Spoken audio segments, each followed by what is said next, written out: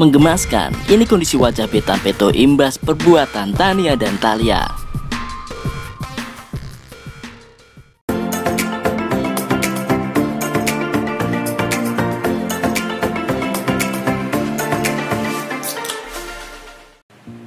Wajah penyanyi Betan Peto dicoret-coret oleh dua adiknya yakni Talia Putri Onsu dan Tania Putri Onsu.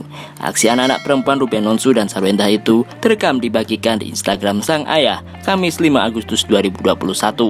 Betan Peto atau yang kerap disapa Onyo, remaja 16 tahun itu hanya bisa pasrah atas perbuatan Cici dan Nia.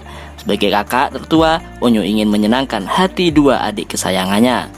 Inilah penampakan wajah Betan Peto setelah digambar oleh sang adik. Diketahui, Betan Peto memang sangat mencintai adik perempuannya seperti yang sering diajarkan oleh Ruben Onsu dan Sarwenda. Sebagai orang tua, tentu ini jadi tugas penting membentuk kepribadian para buah hatinya agar saling mengasihi satu sama lain. Kokonya pasrah aja kalau udah adiknya yang minta, terang Ruben Onsu dalam caption unggahannya. Kendati dicorang-coreng namun tak melunturkan ketampanan dalam diri Betan Peto. Putra asal Nusa Tenggara Timur itu masih tampak maco dan kece. Warganet yang satu dan lainnya saling memuji sikap mulia yang dilakukan oleh Betan Peto. Begitupun dengan ayah Ruben Onsu yang juga demikian. Kakak the best, komentar akun Fabilerons. Onyo emang kakak terbaik, semoga Onyo selalu menjadi penjaganya, Cici Dania. Komentar akun Lenatin. Walau cemong gitu mukanya tetap handsome deh.